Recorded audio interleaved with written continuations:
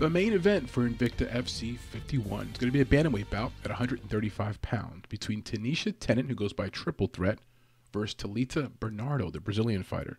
Bernardo's 9 and 4 overall, 4 won her last five fights. She hails from Rio de Janeiro, Brazil. 35 years old, about to be 36 pretty soon.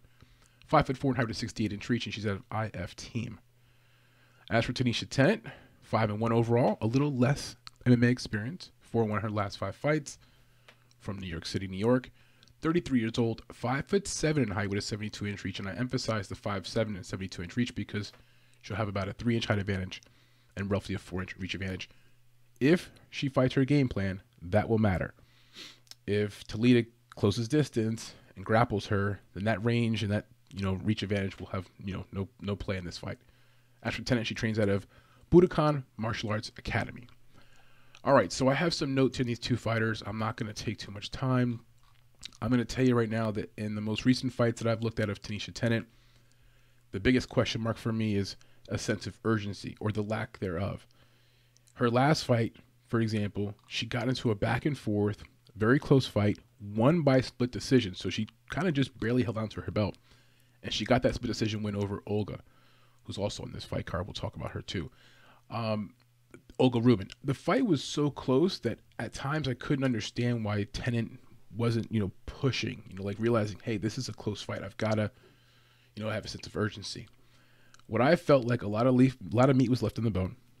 She has good volume but limited power. We are talking 135 pounds, which makes sense. Um, I should preface that her volume needs to be better. So her volume is just not enough. Um, her striking looks good at range. She does that well. So her kicking, nice long legs. She's got a bit of a boxing background. So that looks natural, looks good. But when I'm looking at her most recent wins, the people that she's beat, like Lisa Rizosa by decision, um, these are lower level talented fighters. And to case, in the case of Olga uh, Rubin, it should be said that Olga Rubin had run in the Bellator and whatever else, so she's actually a decent opponent. But heck, that fight, some people thought Olga won, and at least one judge thought she won. So what am I saying to you? What I'm saying to you is Taneisha Tennant did not do anything recently to like knock your socks off and get you very excited. I think when you're looking at her without ever seeing her fight, her physique is impressive, the long physique, and if you're just looking at it on paper, you're thinking the range, distance, there's the advantages, right? No ground game. Taneisha Tennant has stand up offense. I'll give her that. If you take her down, she'll get up. But in terms of doing something on the ground offensively, that's not her wheelhouse. So she's a stand up only fighter with limited striking power. What's her path to victory?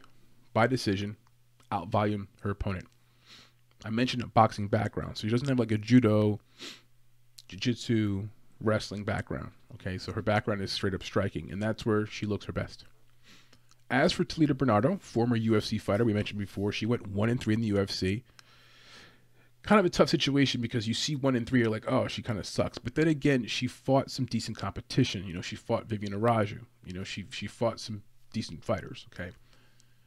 Her experience level is twice as much in the cage. Period. She has more fights, and then also she's fought much better competition. I'm thinking Talita Bernardo would have to really drop the ball here to not be able to use that experience, some grappling, push Taneisha up against the cage, physically take advantage of her because Taneisha is not, again, she's very long, she's tall. So you can see how a, a shorter fighter can get their head under her chin, take advantage of her physically, hold her there, scrape her down. And now we've got a situation where Tennant could get back up, maybe gives up her back, you know, and so on and so on. Now, looking at Talita Bernardo's most recent record, I wanted to look at something here. I had a note to remind myself. So she's coming off of these losses in the UFC to Irene Aldana, Marion Reneau, which is eh, and Viviane Araújo knocked her out.